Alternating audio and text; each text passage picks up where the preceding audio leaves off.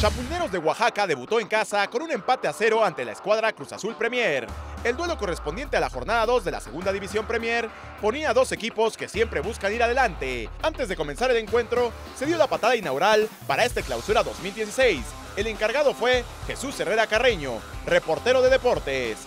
Pasado el mediodía, comenzaron las acciones en el Benito Juárez con un equipo visitante que durante los primeros 45 minutos no llegó a encerrarse y en par de ocasiones puso en aprietos a la saga local, pero el arquero Juan Luis González estuvo muy atento para proteger su marco. Por su parte, los Chapus también tuvieron opciones de gol, pero al final la puntería no estuvo fina o los delanteros no llegaron a la cita con el balón.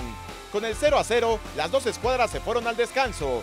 Ya para la segunda mitad, el Capi Ayala mantuvo a su once inicial, ya que el equipo tenía llegada y parecía era cuestión de tiempo para que llegara el invitado principal en el fútbol. Pasados los primeros 15 minutos del complementario, el Capi Ayala comenzó a hacer movimientos mandando al nigeriano Fredio Gangán a la cancha por Juan de Dios 5. Las oportunidades siguieron surgiendo y al minuto 71, cuando Omar Rosa se enfilaba solo frente a la portería, Jesús Reyes, defensor visitante, lo jaló por la espalda para evitar que entrara al área rival. El árbitro no dudó en marcar la falta y expulsó al jugador que tenía unos minutos apenas en el terreno de juego.